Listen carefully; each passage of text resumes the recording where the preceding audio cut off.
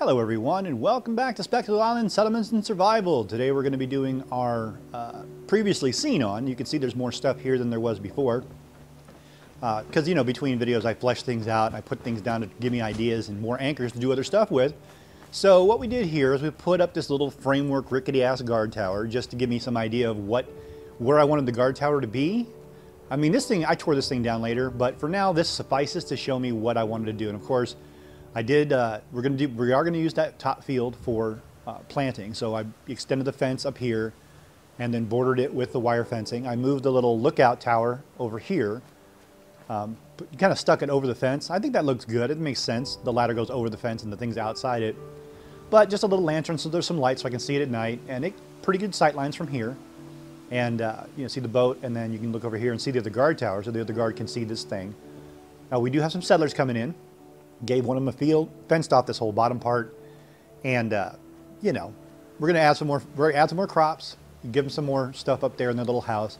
Didn't really do anything with this stuff, no need to do it. But what we're gonna do is we're gonna put like a lookout tower guard post thing up on this little promontory because you can see this elevation is really, really good. There's the other guard tower, so that gives us a natural entrance. I can, you know, eventually maybe wall off the other thing, but you can see Warwick from here, see the whole beach, see the whole approach, and uh, you know, and I noticed this little thing here, this little divot is like a little pathway. It's got stones and no, no weeds. So that's sort of a natural entrance because it's lower. So we're gonna do that. So what are we gonna do? Which one are we gonna pick? We're gonna pick this one. This is the most, this is one, of course, is right by Abernathy and Wicked Shipping. Is right next to that pond, that little, that little divot with the bloatflies.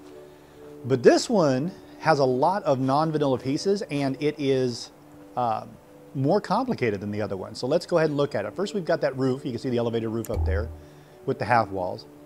And the stairs are sunk here, and it's on a shack foundation. We got the standard doorway, you know, the little, the standard quarter wall there. And it's at an angle. The roof piece, of course, I don't have. It's angled. I'm not going to be able to use that. Then under here, we've got these little supports, which are like marble tracks, but they've got a horizontal cross piece. So if I need to, I can use those. And of course, the shack supports again. Hello, shack supports. Bastards. So this thing here, this thing here is pretty standard. Same two pieces, you know, the double rail. This part under here is the tricky part because that's like a half floor with, you know, the half walls using as risers, supports, whatever. And, but it's got struts underneath it. So I don't know what piece that is, but we're going to have to just fake it. But we'll look at the, uh, the elevated thing again. Tires we don't have. And the, the, the, the deeper wall with the the non-crappy wall. So we checked out the outside. Let's see what it looks like inside. See if we get more inspiration here. Just got a mattress down there, and there's that elevated thing. Um, all you know, all three of the same piece. Literally all three of the same piece there. And here's the inside of it. There's that wall, and this flat wall, and here's the inside riser. It's at an angle. You can see that it's got one stairway. It's got the you know the the non-vanilla piece but this is pretty much bog standard right here. You know, got some little decorations and stuff like the, the med kit and, you know, stuff like that. But this, whatever, it's, a, it's, a, it's an outlook. It's a lookout tower. Let's look at the foundations again because I forgot what it looked like. But there's that double post with the cross beam, which we don't have. I wish we had that one. That was a nice one. It's good for sticking up with bridges and stuff like that. And, okay, so there's our shack supports again. And I'm looking at the back of it going, okay, how does this look underneath? That's going to be the tricky part. So here is what we're going to be building today. We're going to be stealing this one outright, and it's going to be interesting to see how I'm going to implement the various things I cannot do without mods. So first things first is we're going to build the back half of it, dress it up a little bit, and then build the front half and drop it on top, because that's that seems to be the best way to do it. So while we're doing this, um, recently I have been playing a brand new save. Uh, thank you to all who suggested um, immersive gameplay. That thing is not exactly what I was after, but it definitely makes a lot of good changes and it has a lot of interesting potential. And it, the differences are shocking. I mean, number one, the biggest thing I noticed right away is how much material you get. I'm like, what, 24,000 steel for a car? What the hell is that all about? Hell, it turns out you need that much steel and you need that much wood. You need scads and scads and scads of wood. So let's go ahead and build the top thing. I, I don't have those half walls, so we're gonna, we're gonna fake it with these little railings and you can see right here, since I put all four of them on there, I already forgot that the original did not have a fourth support. It, they used the angle roof over the front. So I'm not going to use a flat roof. I don't really like flat roofs that much unless I'm building on top of it. In this case, I'm not. So what we're going to do here is we're going to grab this, this roof and we're going to elevate it. We're going to elevate this first. Now I elevate this because I know I'm going to have the pillar underneath it when I adjust this roof, and I want to be able to grab the pillar again. So I need to get underneath it to grab the pillar, so I, I raise up the, uh, the riser. I'm going to call it the riser.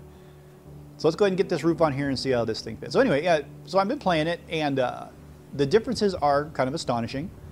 Um, I thought it was a bug at first when I left Sanctuary. When I left 111 went to Sanctuary, I started getting XP, and it would stop. I'm like, oh my god, is this a bug? But no, it's by design. You, you start at level 10, and I guess that's the best way uh, the mod author realized it was to get you to level 10 is the first thing you discover Sanctuary would crank you up. So I sat there and watched the XP grind up for a little while. But yeah, it's definitely different. Um, some things I wish I would have known, number one, is uh, how the perks are different. I mean, how the specials are different. Uh, I would have definitely picked different specials if I'd have known that the next point I had to wait till level 15 to buy. That would have changed my strategy immensely. But I built my normal sneaky build, you know, stacked heavy on intelligence, stacked on perception, stacked on uh, agility, and then low strength. And of course, higher endurance too. I need higher endurance because of the way the, the mod changes creature and player health. The one thing I do wish wasn't so punitive was the weight capacity in survival mode. It is, a, it is really low. And since there's not a lot of legendaries, you know, there's not a lot of uh, legendary drops apparently. I mean, legendary creatures do spawn, but they don't always have a legendary item on them, and that's going to be a problem. But um, yeah, so it, it's interesting. It's really interesting. Um, basically, the quest for figuring out how to build turrets was exciting, and uh, you know, and uh, settlement attacks are a lot different too. I, I encountered my first settlement attack the other day, and I could wish that it were a little more balanced, reasonably, logically, because I had a at Oberland I had two settlers, three food, a water pump, and six points of guard. Okay, a very, very tiny settlement. And it got attacked. So I went there to, to help defend it because I was over there helping Danse at the time. And uh, I get there and there were raiders, a lot of raiders. I mean, a lot, a lot of raiders. I mean, I spent, it must have been 15, 20 minutes killing them all. And so at the end, when I was looting all the bodies, I'm, i was, I went to count. I'm like, okay, uh, how many of these guys are there? Yeah, there were 30. 30 raiders to take on two settlers, three food, and six defense. I'm like, okay, that could probably balance more realistically. I mean, on the bright side, my settlers have fantastic gear now, and I got lots and lots of bullets out of the whole deal. Um, I also did discover that uh, fragmentation mines are your best friends when it comes to settlement attacks because, you know, you, you sit there at a distance, you scope it out, you see where they're at, and then you find a, a good escape route, and then you just basically seed mines all the way down, shoot one of them, say, yeah, come on, get me, guys, I'm over here. Hello, over here. Boom, boom, boom. So here, what I'm trying to do is I'm trying to fit this platform into this gap at an angle while still having the walls kind of touch, right? Because the gap on the right is my biggest thing here. And this is a problem. Now this here, this little sequence here, the stairways, the little wood stairs there, the bounding box for the bottom of the stairs is lower than the bottom of the bounding box for the concrete pillar. So you cannot, I found this out later, I found this out while I was doing this, you cannot use the concrete pillar or really anything to grab a wood stairway. See, look at the bottom. See how it's a little bit elevated? It's, I'm, I'm like, okay, I got to get this flush. But the bottom of the wood stairs is lower than anything you can grab to group select it with, other than another pair of stairs. So it's a problem when you're trying to place these things like this on a non-sinkable surface, like I'm doing here with, with the floors. And I'm, I'm, I can not figure this out. I'm like, whatever, I'm fine. I'm to put it in there. We'll see how it looks. We'll see if this group select thing works. And it turns out it does. It goes right in there. I'm like, okay, good. It, this will, this does work. I can get this thing where I want it. So let's go ahead and do that and more build order shenanigans, right? Put it in there, test the wall, the wall will snap, test the floor, the floor will snap. So now I'm gonna take everything off, all the stuff I just built, take it all off, and just place one stairway. I just need one set of stairs, shack steps, to be somewhere at this angle near this spot. So we're gonna fiddle with this. But yeah, I, uh, but yeah, you're going to be seeing, you may be seeing some builds from that playthrough. Uh, he's only level 15. I just hit 15 because I need to get provisioners. You know, I need them bad, and I can't buy another point of charisma until I hit 15. So I was like, uh, that's a problem. So okay, the stairway is where it's going to be. Let's see if I can snap a wall. I can snap a wall. There's a little gap, but you know what? That's fine. Let's put the roof back on. But yeah, I've been uh, I've been doing this stuff, and I do like the design choices. I like the fact that all the monsters are all the enemies are fixed level. You know, so as you level, you get stronger in relation to them. They're not going to keep, you know, they're not going to keep staying tougher, which is nice. But of course, that means I have to spend a lot more time leveling up and not dying because that, that's a real problem. Because man, you thought survival was brutal, yeah, try try immersive gameplay, man. Two shots and you're dead, no matter what level you are, because you only have everything, all the level, all the uh, all the all the health is capped, and it's really low. It's like 200 or less, and the guns are super ultra strong. I mean, even a straight up combat rifle does like 122. So killing these things is not a problem. Staying alive when more than one is shooting is problematic, and of course, explosives are stupid. I mean, the the blast radius on fragmentation mines is, I mean, it's got to be 60, 80, 90 feet. I was just like, what? I thought I was far away enough. No, you weren't. So down here, we're going to stick this up to cover that gap. And what we're going to do is I'm going to raise it up just a little bit. When I drop it in and place it, it's going to be a little bit above the ground. And the reason for that is I know I'm going to sink this later. So I can just sink the bottom of this below the ground when I get it to wherever I want it. But yeah, I'm having a lot of fun with this thing. Um, I'm finding that legendaries, weapons especially, are hugely, hugely useful to someone like me who cannot shoot straight and who has difficulty targeting. so I need all the help I can get. I want to put this in, patch that gap, but I'm going to need some elevation. You can't see the bottom, dude. Get a ladder. Um, but yeah, I just did ArcJet, and uh, it's interesting the changes that the, uh, the, authors made to the drops and the weapons. Like, uh, like synths are tough, man. They're they're very very very it makes sense. I mean, in, in the lore of the game, it's they should be tougher than they are. They shouldn't just be little plastic knockover, whatever the hell they are in, in vanilla. But uh, on the other side of the coin, they drop a ton of material when you kill them, like hundreds of plastic, thousands of steel. I'm like, what in God's name is going? But I'm like, hey, free plastic. I can make a jet farm out of this, man. With the scrap all mod, all the fertilizer you get from from scrapping, you know, bushes and stuff.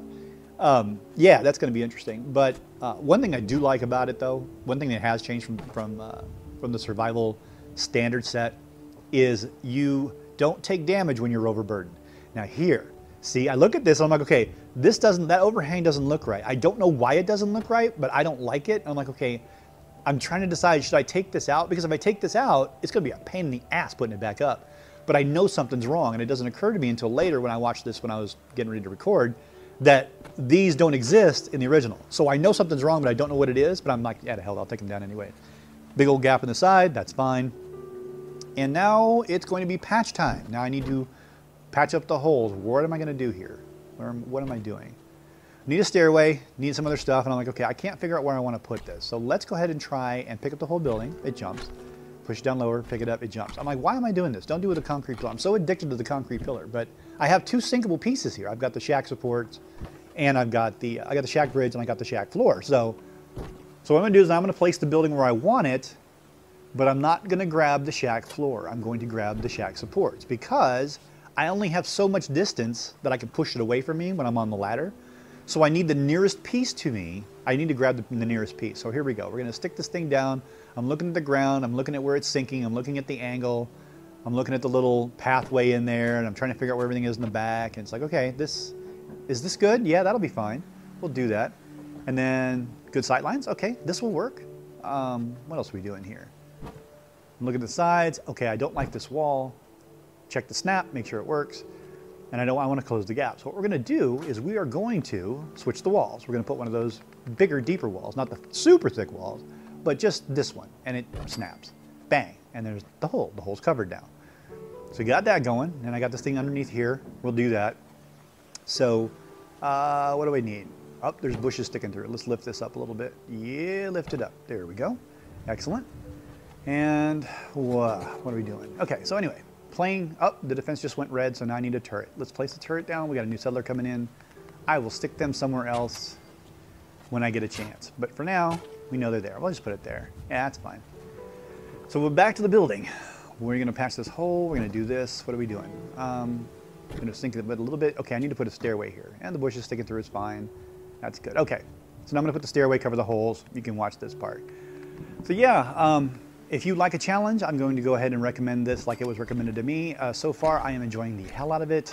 Um, what I'm realizing is that raiders are heavily equipped, and the temptation, since I'm, since I'm usually such a pack rat, you know, but I've only got like 130 capacity, and my gear weighs like 70 pounds when I'm leaving the thing, that's, it's really hard to salvage. But the good thing is, every raider has a full set of gear. I mean, they have full armor. I mean, it's, it's all the way up to heavy at like level 10. Heavy leather, heavy metal, heavy whatever. So, um, and you know, the bunker was cute. I liked the bunker at first, but all that stuff's too heavy, so I ended up putting it on my settlers. And uh, yeah, but it's it's it's an interesting an interesting way to play, especially if you're a settlement builder, because it changes enough of the underneath that it becomes interesting. Now, I haven't. I mean, there's some things that I'm still I'm still kind of confused about that don't make sense to me yet, and I'm resisting the temptation to go to the author's message board and ask questions. I want to figure this out for myself. Because if, if, the thing I know about it is it makes sense, right? It's internally consistent. The guy made this stuff deliberately for a reason. I just don't know what the reason is, and I, but I do know it differs from, you know, normal gameplay. And I will say turrets are hellaciously a pain in the ass. I, they take so long to kill. There's got to be a trick to killing them, man. I, I just, I mean, seriously, it takes me like 30, 40 bullets to kill one turret. And I'm like, this is going to be a problem when I go after Kellogg because I, there's so many turrets in there. I can't sit there for a half an hour trying to kill a turret. I can't bring that much ammunition with me. So yeah, there's definitely some learning going on here. Uh, I do know that um, one thing I did discover that the mod author did is that uh, maybe it's the unofficial Fallout 4 patch that did this, but the raiders at uh, Hangman's Alley, yeah, they come out. I found that out to my chagrin and surprise when I saw the one guy on the side of the on the side of the little guard post there from the you know from the entranceway, and I shot him in the head, and three of them came out. I mean, they came out. They came running down the alley, and I of course died. But I was like, oh, that was unexpected. I didn't like that part. I'm looking for the settler here. Uh, but yeah, turrets are outrageous. They're, uh, but now that I know the trick to building them, um, I do. I, I will say that the, there needs to be. I'm going to probably go to his message boards and give him a suggestion, because um, you need to build. You need enhanced targeting cards to build a turret. Enhanced targeting cards, turret parts, which are easy to build, and a lot of steel. That's fine. Whatever. So I'm at the workbench and I'm making enhanced targeting cards. And enhanced targeting cards in this in his mod take 10 silver to build. So now silver has a use. I used to leave, I used to have hundreds and thousands of silver, but now you can use it. But the problem is, one of the problems is, when you're going to build enhanced targeting cards, it costs you 10 silver, you make an enhanced targeting card. Okay. An enhanced targeting card is comprised of plastic circuitry and two silver. So when I'm at the workbench, like the other day, I had 50 silver. I'm like, cool, I can build five turrets, I need five cards. But it didn't occur to me that the cards themselves are made of silver. So I got 50, so I build an enhanced targeting card, build an enhanced targeting card, build an enhanced, so I build five of them, right? And I'm in the build menu, I'm in the workbench, and it's still lit up. I could still build another one. So I build a sixth one. And I built the sixth one out of the five that I had just made. I was a little annoyed. So okay, let's do our tour here. Now here's our structure. This is what it looks like. This is what we made out of it. Um, it's all done on the bottom. I could add another marble support here, but I'm not gonna worry about it. You can see where we sunk all the pieces. There's the entranceway. It's elevated. It's got support underneath from the shack floor. It's got the elevated, the elevated uh, roof line, which actually came out pretty good. I'm, I'm pretty happy with that. And you know, we covered the hole here on the bottom with the junk wall and the top with the thicker wall. But yeah, just a bunch of, uh, just a bunch of, just a series of patching holes. And oh, here's our settler. Now, perfect, she's right here. Let's see if I can get her to path up those stairs. Let's see if the stairs even work. Okay. That's gonna be the key. Will the stairs work? Is she gonna do it? Look at that, right up there. Okay, so here you go, guys. Here is another example of the building, uh, the uh, incorporation of another Bethesda building in our settlement. Now it's sort of taking shape, right? We sort of have a, a rough outline of what the eventual settlement's gonna be, and it's probably just gonna be a farm. I'm gonna add a doctor, maybe a bar, maybe a trading post down here on the beach, but that's really about it. So let's go up to the top here and do our sign out. This is what we got so far, so now it's shaping up. There you go. I wanna thank you all very much for subscribing and watching, and I will see you in the next one. Take care.